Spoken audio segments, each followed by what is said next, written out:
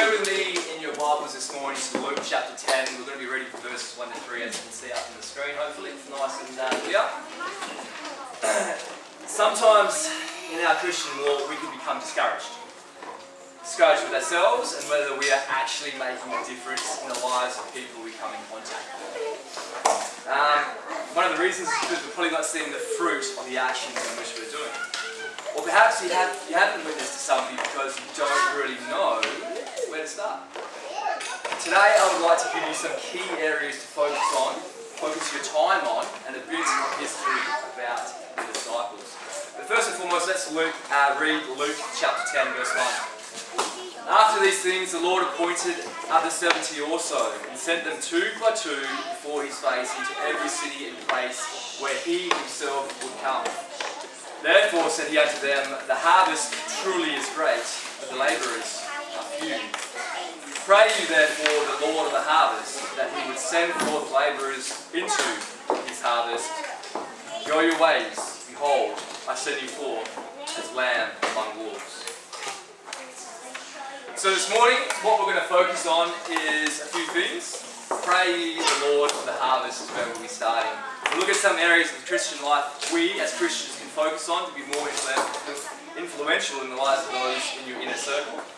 Um, then we're going to be looking at labourers into the harvest. So we will look at the disciples um, and the, the labourers that Jesus sent into the harvest. We'll then follow on with lamb among wolves, and we'll have a look at how uh, Christians early on were pretty much lambs among wolves, and we'll see who the wolves are, and then we'll also have a look to see how that is applicable to us.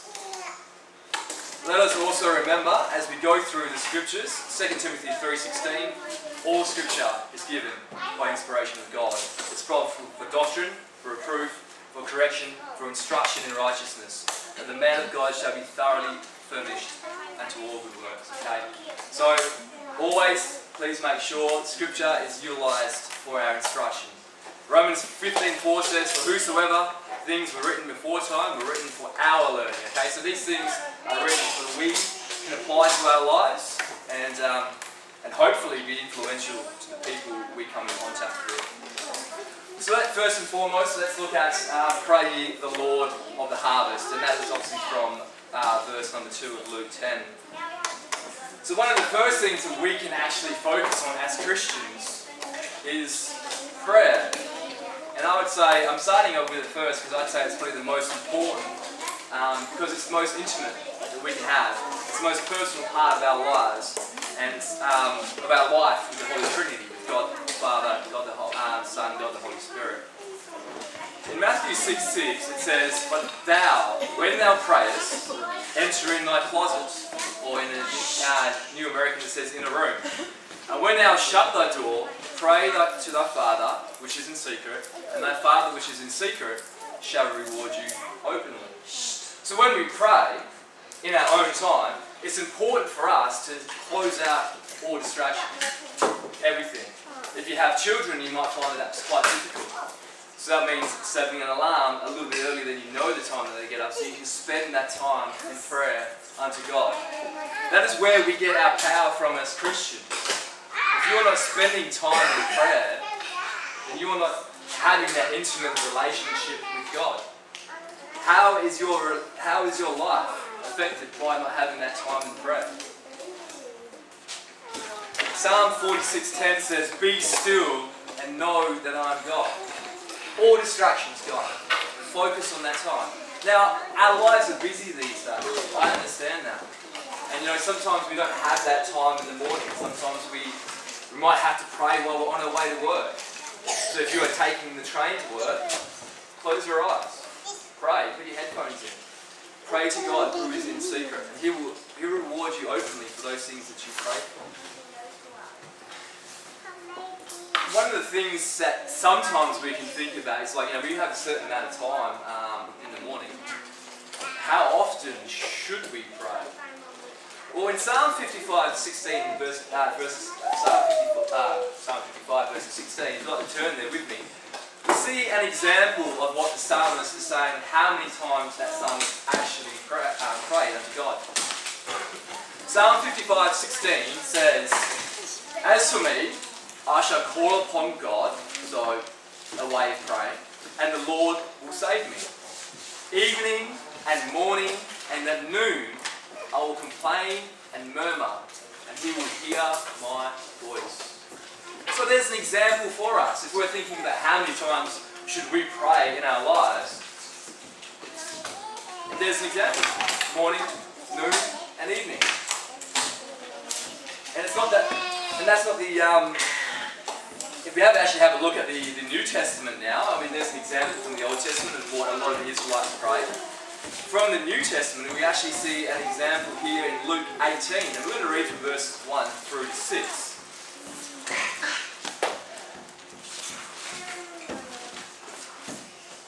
In Luke 18, verses 1 to 6, it says, And he spake a parable unto them to this end, that men ought always to pray and not to faint.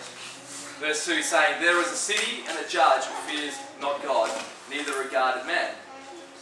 And there was a widow in that city, and she came unto him, saying, Avenge me of mine adversary. And he would not for a while, but afterwards he said unto himself, Though I fear not God, nor regard man, yet because this widow troubles me, I will avenge her, lest by her continual coming she weary me. And the Lord said, Hear what the unjust judge says. So first and foremost, we see in verse number one, he spake in parable and said unto this end that men ought always to pray and to not faint. So you can do it three times a day. Set up a routine and you can follow that. But Jesus is saying here, men ought always to pray. So if you're in your car, you're driving somewhere and something comes to you, send up a prayer to God. You know, if you're, you're at work and stresses of, of the work is starting to come upon you, take a bit of time, send up a prayer to God. Ask Him to help you in that moment.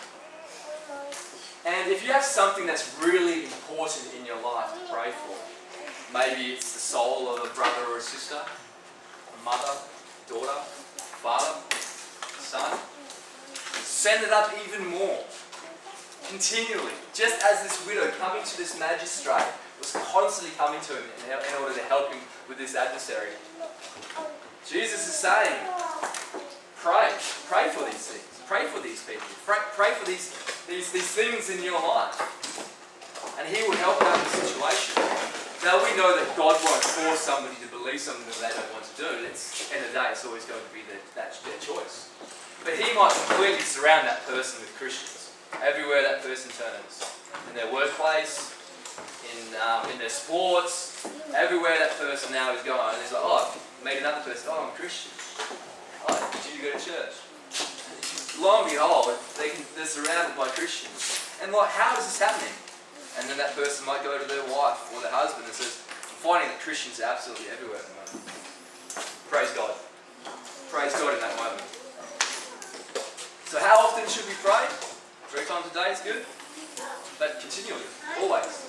Always. Hound God as much as you, you physically can. Hound Him. How long should we pray for?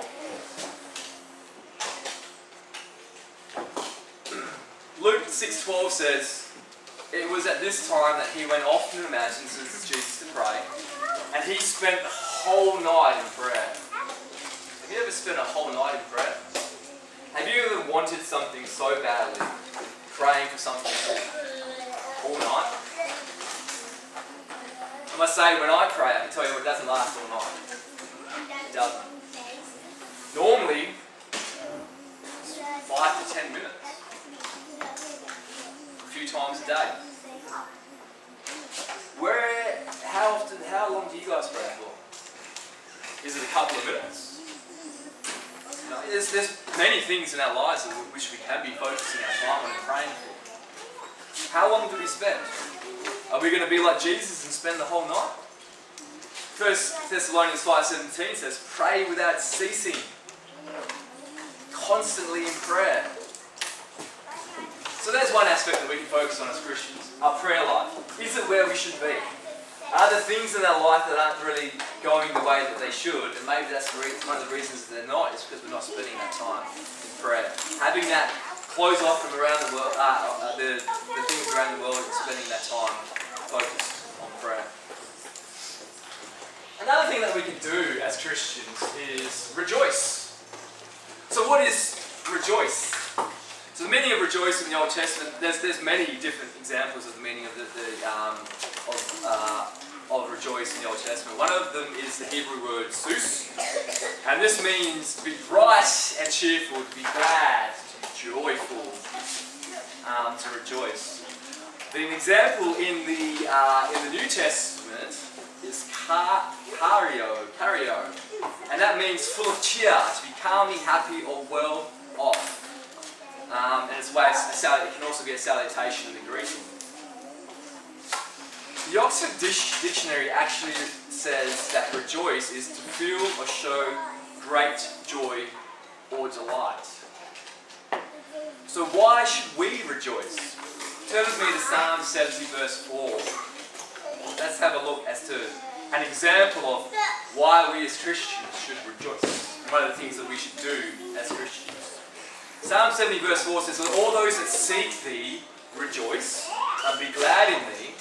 And let such as love thy salvation say continually, let God be magnified. As a Christian, you have been saved. What have you been saved from? You've been saved from the fate worse than death, and that's eternal separation from your God, the God, the Creator.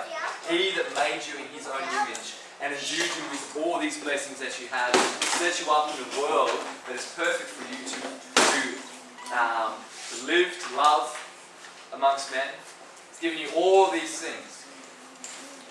And although mankind has fallen short and, and sinned against the holy and just God, He has sent His Son in the place of sinful man to take on your punishment. And that is why we should rejoice. Because as Christians, believing in Jesus, repenting of our sins, being dunked, immersed in water, forgiveness of sin, washed in that water, we have salvation. And that's one of the reasons why we can rejoice. Another example is found in Romans 5, verses 1 to 2. And it says, Therefore, being justified by faith, we have peace with God through our Lord Jesus Christ, for whom also we have access by faith into this grace wherein we stand, and rejoice in hope of the glory of God. We have peace with God, our Maker. Those wrongs that we have done have been washed clean by Jesus, not by anything that we could do, not by any actions that we could do, but by the blood of Jesus Christ, the only Son of God who punished for us. Philippians 4.4 says, Rejoice in the Lord always, and again I say rejoice. We have so many reasons to rejoice. 1 Thessalonians 5.16 says, Rejoice evermore. And so we should. So there's another example of one of the things that we can do as Christians we, we want to be influential in our world, in our family life, our work life, and our, with our friends. We can pray and we can rejoice. We can be cheerful. We can be glad for the things that God has given us. What's another example of what we can do? Well, we can study. One of the blessings of being in this church is that we have a leader in this church that actually makes up booklets for us. It makes it very easy for us to study the Word you know, it's, it's all there. We'll go through a, a whole book in the Bible. And He's prepared it all for us to study, to learn, to rightly divide the Word of God. 2 Timothy 2.15 says, Study to show yourselves approved unto God, a workman that needs not to be ashamed, rightly dividing the Word of truth. Rightly dividing it. We need to make sure that as we're studying, we're studying things that are, that are true. We've got to ask these questions. Are what we're hearing the truth? Because there are lots of people out there that will try to take that truth away from you or try to water down that truth or add to that truth. We need to be like the Bereans. In Acts 17, uh, 10 verse 11 it says, And the brethren immediately sent away Paul from Thessalonica, Thessalonica and Silas by night unto Berea.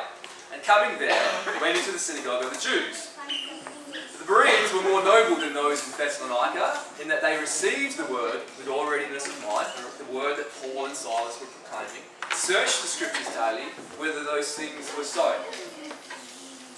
So what can we do? We can rightly divide the word of God. We have um, everything written down for us through a study and what Alan actually prepares for us.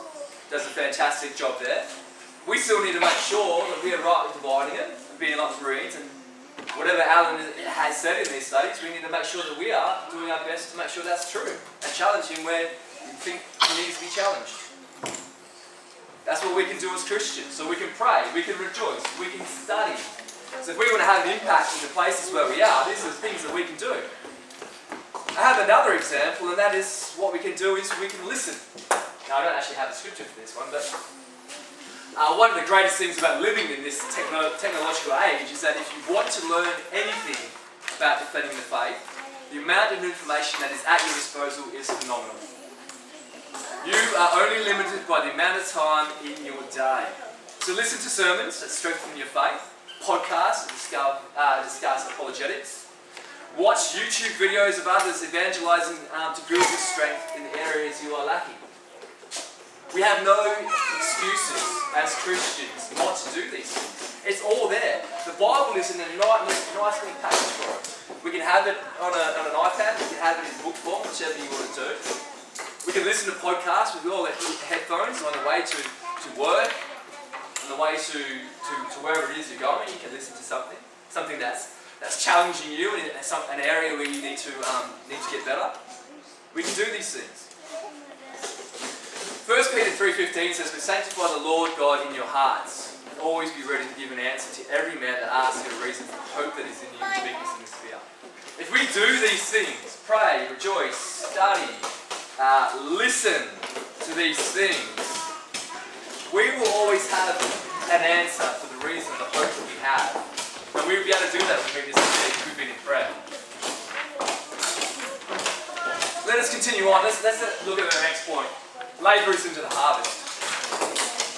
We're trying to make these things, these sermons a lot, uh, a lot um, within the 30 minute mark, but unfortunately, guys, are going to be in for a long haul again. Labourers into the harvest. Now that we have the areas we need to work on to better our chances of evangelising to those we encounter in our lives, let us now have a look at Jesus, who Jesus, Jesus' disciples were. You may be thinking, well, okay, I can do all those things which we've talked about, but I'm no way anything like Jesus' disciples. So who were Jesus' disciples? Let's firstly, let's look at the 12. Let's look at Luke chapter 6, verse 12. Okay? And it came to pass in those days that he went out of the mountain, Jesus, to pray, and continued all night in prayer to God. Once again, prayer before he goes out. And when it was day, he called unto his disciples, and of them chose twelve, whom also he named apostles. So he had disciples, more than twelve, but he called, he chose twelve which were apostles. And their names were Simon, Andrew, James, John, Philip, Bartholomew, Matthew, Thomas, James the son of Alphaeus, and Simon called Zelotes, Judas the brother James, and Judas Iscariot, which also was the traitor.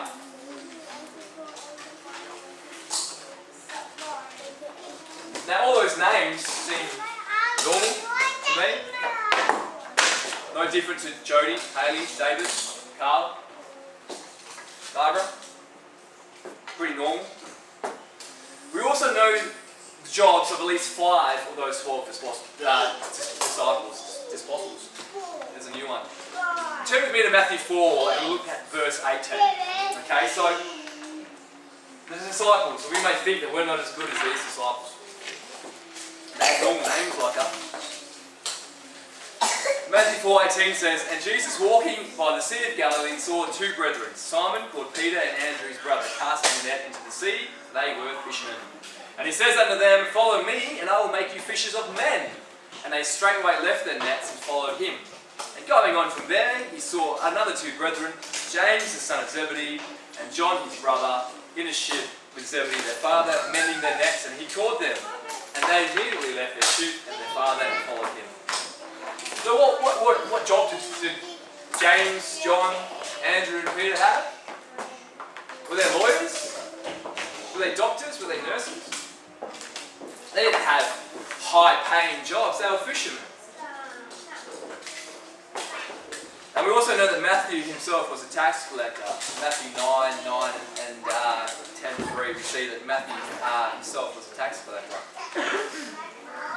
Is that any different to the jobs that we have today? Teachers? physio, You clerics? Admin? Police? Are the jobs any different? Does that make them different to us? Do they make them any better than us? We also know some of the places in which they lived. We know that Philip was of Bethsaida, the city of Andrew and Peter, as in John 1.44. Nathaniel was from Cana, John 21.12. And we know that from John 1.46, Nathanael said unto him, Can there anything good talk about Jesus? Can anything good come out of Nazareth? Philip says, Unto whom come and see. So they had pretty normal names. They had pretty normal jobs. And they lived in what was pretty normal places. They weren't too far from the city, just like you and me. So just like you and me, there came a time when they needed to step out of their comfort zone. Okay, so they're no different to us, are they? Normal names, normal jobs, normal places where they live. When you, when you go to university, the first few years are spent learning your material of whatever it is that you've chosen to do. Teaching, physio, engineering, whatever. You'll have the exams at the end of the block to put, that, um, put to paper what you've learned from the theoretical side of things. But eventually, you will have to put that theory into practical work. So let's have a look at Luke chapter 9. We're going to start with verse number 6. And we're going to see that up to this point in Luke, the disciples have been learning everything that they knew. They've been, uh, need to know, they've been learning the theory of everything that they need to do. Alright? Now Jesus is going to put them out to work. So just like as a teacher, you need to go to your practical, you need to stand up in front of the class, and all that stuff that you've learned, you're going to put it into action. No different to being a physio, same sort of thing. You've learned all the content that you need to learn, and now you need to put that into action. Luke 9, verse 1. Then he called his twelve disciples together and gave them power and authority over all devils and to cure diseases. And he sent them to preach the kingdom of God and to heal the sick. And he said unto them, Take nothing for your journey, neither staves, nor scrip, nor bread, nor money, neither have two coats apiece. And whatsoever house you enter into, there abide, and thence depart. And whosoever will not receive you, when you go out of that city, shake off the dust from your feet for testimony against them. And they departed and went through the towns, preaching the gospel and healing everywhere. Here is a perfect example of all those things that the disciples had learned and now putting into action. Now, granted, they had miracles. Okay? Jesus gave them power to do things that we cannot do today. But at the end, when Jesus was going out and giving the Great Commission unto the disciples, what did he say? Go out into all the world and preach the gospel, baptizing them in the name of the Father, the Son, and the Holy Spirit. What was the emphasis on? Teaching. Teaching those people. And then baptizing. Baptizing is an action So not only are they putting the theoretical stuff into work, they're going out and they're teaching people, and they're putting their actions, they're baptizing as well. Okay, so that's this, that's the 12 disciples. They were pretty, they were pretty impressive. Um, they did have, you know, powers to do these things which Jesus gave them. In our main scripture that we read earlier was from Luke 10. If you'd like to turn there with me, we're going to read from verse number 1. It wasn't just the 12 that Jesus sent out, he also sent out the 70 as well. In Luke chapter 10, verse 1, it says, After these things, the Lord appointed another 70 also, and sent them two by two before his face into every city and place where he himself would come.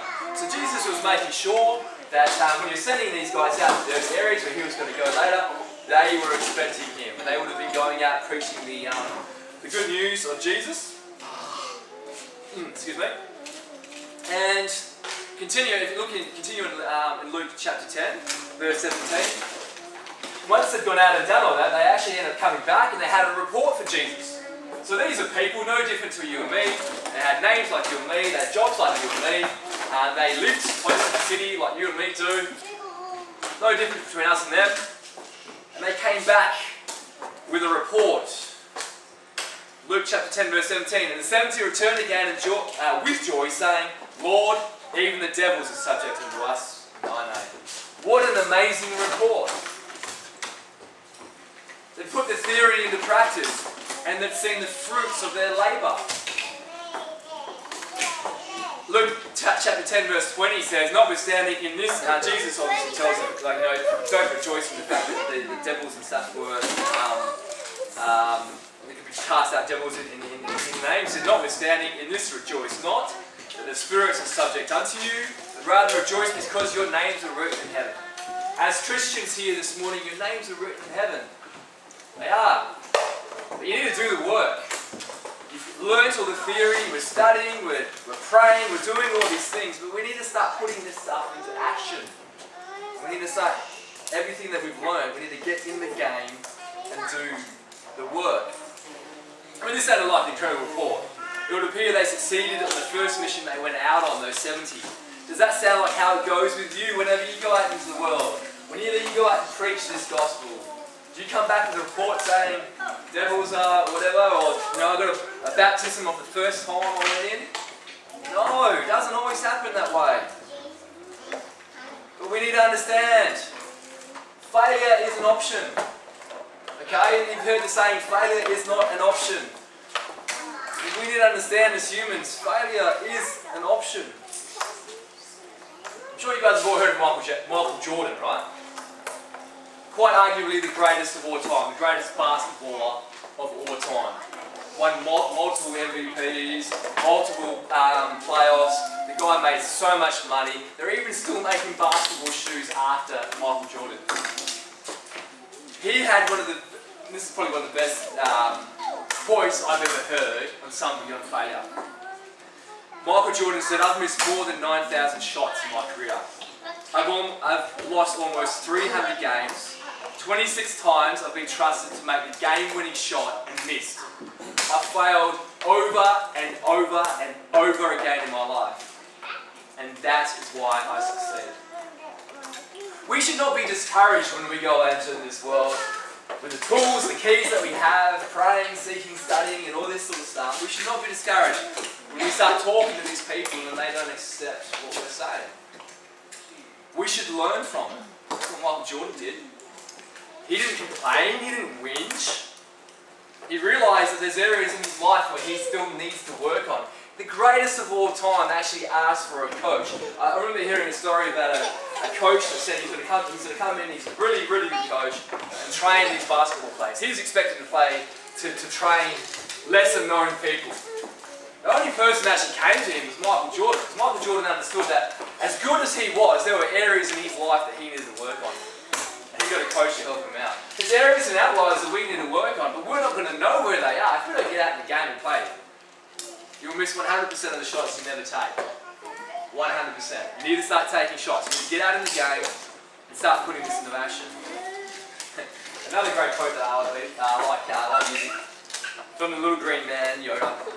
Pass on what you have learned. Strength, mastery.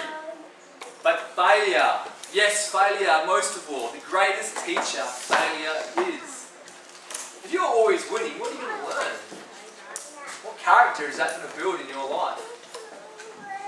But if you fail, you know where you need to work. You know what areas you need to strengthen, and you can put those into place.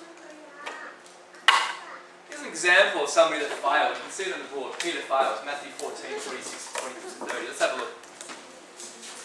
Peter tries walking on water. And when the disciples saw him, uh, verse 26, when the disciples saw him walking on the sea, they were troubled, saying, Is it a spirit? This is Jesus coming to him. And they cried out in fear. But straightway Jesus spake unto them, saying, Be of good cheer, it is I, be not afraid. And Peter answered him and said, Lord, if it be thou, bid me to come unto thee in water. And he said, Come. And Peter was uh, come down out of the ship. He walked on the water to go to Jesus. But when he saw the wind boisterous, he was afraid, beginning to sink. He cried, saying, Save me, God, Lord. Peter put himself out. He put himself into the game. He actually played a hand. He believed in God and he played his hand. But then he started looking at the things around him, the things that were outside of his control. And he started to think that he was a failure. He, he didn't have that trust in God. And he failed. And this is countless of times of Peter. Like Jesus said to him before the cock crows thrice, uh, before the cock crows, um, thrice you will deny me. He was one of those people that I, I, would, I, would, I would die with you, God. And as soon as a little bit of persecution came, he turned aside. He failed on so many accounts, did Peter. And that is why he wins. Jesus was there the whole time and he, you know, he encouraged him after those failures. I mean, he ended up going fishing after it all, went back to the job that he, he knew. And he failed so many times. But, turn with me to Acts 2.14. and We'll have a look at an example where Peter wins. Alright, all those failures that he had when he was going through his apprenticeship as a disciple with Jesus. Failing, failing, failing, but given the crack. He's playing his hand, he was out there having a crack. In Acts 2.14 it says, Peter standing with the eleven, lifted up his voice and said unto them, You men of Judea and all that dwell in Jerusalem, be this known unto you, and hearken unto my words. So he's about to preach. He's about to get up there and speak a message to those people that need to hear it. Right? And he preached that message. He preached it so good that the, the, the crowd were like, Men and brethren, what shall we do? What shall we do? Peter said, um, repent. Be baptized. Believe in God. And you know what happened? Acts 2.41. The they that gladly received his word were baptized. And the same day they were added unto them 3,000 souls. Here's a man that went from failure to fortune. Not so much fortune as in like money and stuff, but everything that he learned, he put into practice. Now he's preaching. 3,000 people get saved. What are you going to do? Are you going to play a hand, brothers and sisters, today? You're no different to the disciples. Same jobs, same names, live in the same places. You got the same Bible, you got the same, you got everything that you need. You going to play your hand? You might be saying this morning, I'm too old. I can't play a hand. Get down on your knees and pray. Don't get on your knees. If you're on your bed, pray. Pray for those people. Pray for the Lord of the harvest. Pray that He will send workers out into this harvest so people can hear this good news. Because they need it. People out in this world are hurting. They need to hear this, this, this, um, this gospel. And we are the only ones that can take it to them. Now, when you go out into this world and you start playing your hand, get in the game, you've learnt all these things, you've got to come up against wolves. You guys are lambs, you're supposed to be as gentle as lambs, you've got to come up against wolves. Mark 13, 9 says, But take heed to yourselves, for they shall deliver you up to councils and in the synagogues. You shall be beaten, and you shall be brought before the rulers and kings for my sake for a testimony against them. So Peter, John, Paul, all these people start playing their hand and start coming against some of the most hardest things that they have ever been against in their entire lives. Let's have a look at an example of Peter and John. Acts 4, verses 1 and 2. And they spake unto the people, the priests and the captains of the temple and the Sadducees came upon them. This is Peter and John. Being grieved that they taught the people and preached through, uh, through Jesus the resurrection from the dead. So as soon as Peter and John started going out there and preaching this, it started getting people coming up against them. And that's going to happen to us as well. We need to understand this. Um, the same thing with Jesus, uh, the resurrection, uh, Jesus' resurrection from the dead. In, in Acts 4 6, Ananias the high priest and Caiaphas, John and the Alexander, and many were in the kindred of the high priest who gathered together at Jerusalem. So John and Peter weren't just up against these Sadducees, they were against the high priest and these other guys, John and Alexander, I think were, were high priests all in the time as well. So these are the kind of wolves Peter and John were up against. They were the religious leaders. Seems like a pretty hard time for them. Let's have a look at another example. That's John and Peter. Alright, they came up against it. Another example is Stephen. The wolves that he came up against. Stephen paid for it with his life. Stephen, uh, Acts 6, verses 8 to 9. Stephen, full of faith and power, did great wonders and miracles among the people. And those certain of the synagogue, which is called the synagogue of the Libertines and Cyrenians and Alexandrians, and of them of Cilicia and Alatia disputed with Stephen. Disputed with Stephen. You can see, oh, actually, haven't got up on the screen. My apologies for those following along at home. Um, Stephen was before these wolves as well. And there's a whole scripture there. I'm not going to go into it because I'm actually starting to go over time. Um, Acts 6, verse 8 to uh, 7 through to 60. We see that Stephen himself was before all these people. He preached Christ crucified unto all those people. And eventually he was stoned. And you're like, Travis, well, that doesn't seem like a very good thing. You tell me to get in the game, I'm going to get killed for my faith. Thankfully, we do have rule of law in this, this, this, this country that will hopefully prevent that. But there are nations throughout this world, countries throughout this world, where people don't have that. And if they preach Christ crucified, they will end up um, losing their lives. So those are the wolves that are without. Let's now have a look at the wolves that are within. And we have a few scriptures here. Um, Matthew 7:15. Beware false prophets, which shall come to you in sheep's clothing, but inwardly they are ravening wolves. So obviously they're coming to you with guile. They're trying to, you know, batter you up, make you believe what they're believing. They might be really boisterous and energetic in front of you, and they might be pretty, you know, you know, there might be people that be able to persuade you quite easily with their doctrine. There's many, there's many false religions out there in this world. Beware of them. They're trying to take you away from the truth. Another example for us is in John 10 12. but he that is a hireling and not the shepherd, not those who's trying to, um, to shepherd you, to look after you, that's in your, your best interest, whose own the sheep are not, sees the wolf coming. So this is somebody who um, is probably in the church and obviously, you know, uh, looks like a pretty, pretty good leader. But when hardships come, when those things that are without start coming against you, they run, they turn, they flee. When the wolves start coming. We need to make sure that as leaders, we are there in hardship for each other. We're a family. That's what we do. Another example in Acts 20, 28 31. And this is probably a good one. Um, Take heed therefore unto yourselves and unto all the flock, over which the Holy Ghost has made you overseers. Feed the church of God, which he has purchased with his own blood. And that, as leaders, that's what we men are trying to do for you guys. Feed you, making sure that you guys are, are learning, putting things into action that you're learning. For I know this, that after my departing shall grievous wolves enter in among you, and not, and not, and not sparing the flock. And also your own selves shall, shall men arise, speaking perverse things, to draw away disciples after them. Therefore watch and remember that by the space of three years I cease not to warn you. Paul was a good example of somebody that was looking after you. We need to make sure that we are looking after each other, because the wolves can come from within. So,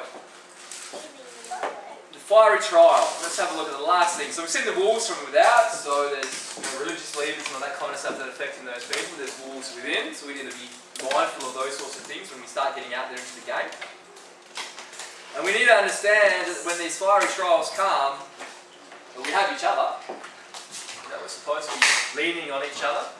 That's the reason why when Jesus sent out the 70, he sent them out two by two. We're not supposed to be doing this alone as Christians. We're not supposed to be lone wolves, lone sheep. We're not supposed to be lone sheep.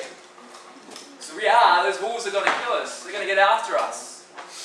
We're supposed to be doing this together by two. But 1 Peter 4, 12 to 13 says, Beloved, think not strange concerning the fiery trial which is to try you, as though some strange thing has happened to you. But rejoice inasmuch as much as you are partakers of Christ's sufferings, that when his glory shall be revealed, you may be glad also with exceeding joy. so these trials, these wolves are coming against you, you're going through hardships because you decide to get out in the game.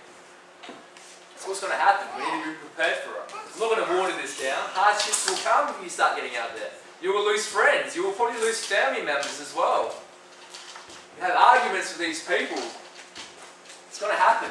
Hardships will come. But be have exceeding joy, the glory which is going to be revealed in you. Matthew 5, 11 and 12 says, Blessed are you when men shall revile you and persecute you and shall say all manner of evil against you falsely for my sake. Rejoice and be exceeding glad, for great is your reward in heaven, for so persecuted are they the prophets which were before you. This is no different. Alright, the trials which you will go against when you decide to put those things obviously you've gone through the first few, few years or whatever, you start putting those things into, into practice. There's trials that will start coming up against you are going to be hard. They're going to be difficult. I'm not going to water it down. But rejoice. Be rewarded in heaven. That's where your reward is.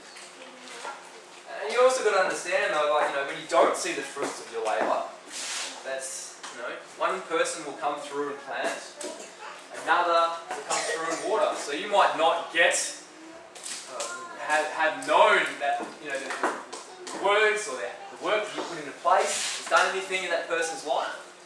Somebody else comes along, another Christian, waters. Another one comes and waters. Before you know that person's come back to you, you see him walk down the street. Oh, how you going? Oh, I'm a Christian now. I've turned to the Lord because of what you told me and multiple other people have done. Get out of the game. Start saving souls, people. We need to. So what can we learn from what we've seen this morning? Pray the Lord of the harvest. There's a few things that we can do before we get out of the game.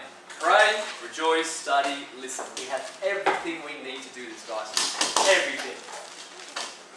Everything. We have no excuses. The labourers out in the harvest, who were the disciples? Who were the 12? Who were the 70? They were different from you or me. Fishermen. They weren't educated. A lot of you guys have degrees. You know, smart people. You guys were just fishermen.